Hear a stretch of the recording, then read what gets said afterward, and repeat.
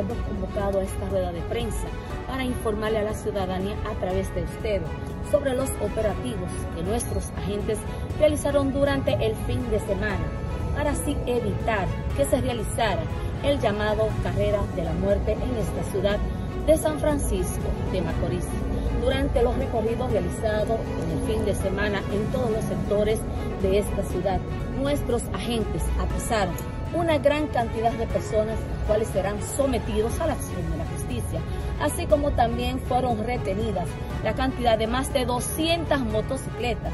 Dentro de ellas, algunas serán depuradas a través del Departamento de Aduana. Las demás serán enviadas al Departamento de DGCET para los fines correspondientes.